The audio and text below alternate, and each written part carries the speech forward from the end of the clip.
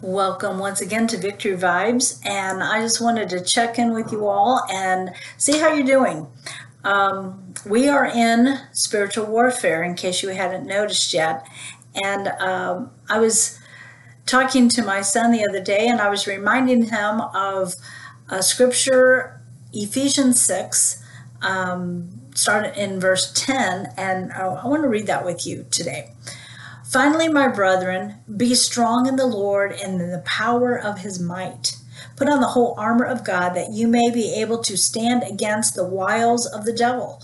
For we do not wrestle against flesh and blood, but against principalities, against powers, against the rulers of the darkness of this age, against spiritual hosts of wickedness in the heavenly places. Therefore, Take up the whole armor of God that you may be able to withstand in the evil days, and having done all to stand, stand. Then it goes into our spiritual armor, which we'll read here in a second. But I just wanted, first of all, to establish the fact that we are in spiritual warfare. Second of all, it's not against people. It's against the spirit realm. And there is a wicked enemy of our soul called the devil. And he will work in um, principalities and powers and the rulers of this earth.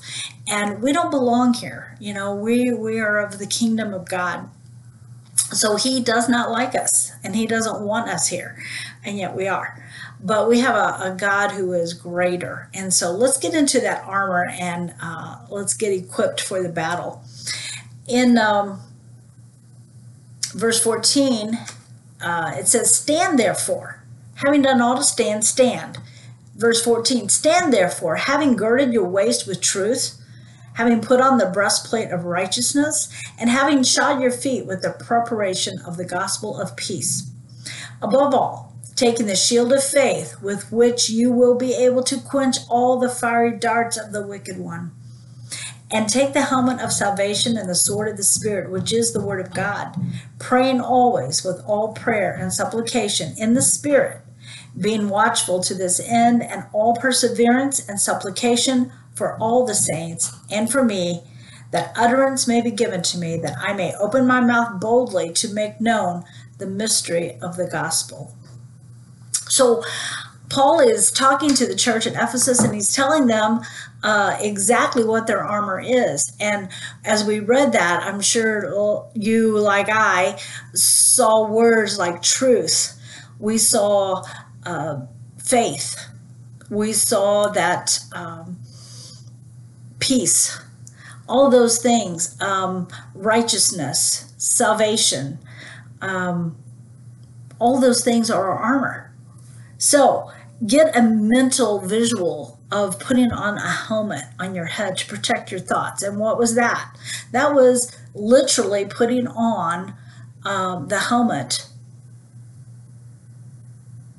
I lost it in my lineup, but the helmet of salvation is like, and it's like, who am I? Well, I'm a child of God. I'm saved. I'm born again. Uh, we put on that breastplate of what? It's going to protect the heart, and it's righteousness. Who are you? I'm righteous. I'm not a sinner. I am not, I don't live like this world. I'm righteous. So when those fiery darts come at you, which they will, it's not if they do, it's when they do. When they come at you, that righteousness of who you are, the helmet and the breastplate of righteousness. And what is the belt? The belt is truth. And you know the enemy his his uh, tactics are lies and God's is truth. And the Bible says that the truth will set you free. So I don't know what you're going through today, but put on the army armor. You can go through the whole list uh, in your study. I'm going to try to keep this really short but powerful. So, Ephesians 6, start reading at verse 10 and go all the way to the end. Powerful word of God on spiritual warfare. So, saints, if you find yourself in that battle right now, let's pray. Father God, I just pray for my brothers and sisters in the Lord that are going through spiritual warfare. I ask God for you to touch them. I ask God for you to help them to stand, having done all to stand, that we would stand, God And Lord, that we would not walk in fear. We would not walk in the things of this world and the things of our flesh, but God, we will walk in that mighty power of the Holy Spirit that you make available to us and through your word, God. And that we would have in our hand that sword of the Spirit, which is the word.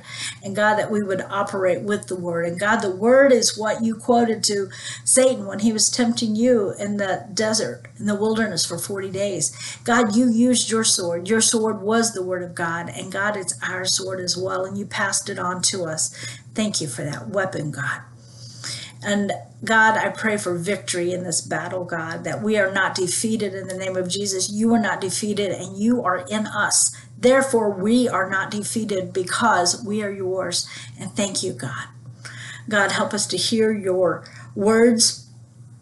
Help us to act on it in bold faith. In your holy name, I ask it.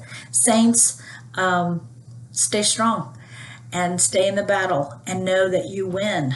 If you stay with God, you win. You do it on your own, I can't guarantee anything, but you do it in the Spirit. Uh, you apply the Word of God to your life, and even if it doesn't make sense, do it. And God will honor you and He will reward you for it. So, this is Victory Vibes signing out, and uh, love you all till we see you again. Bye bye.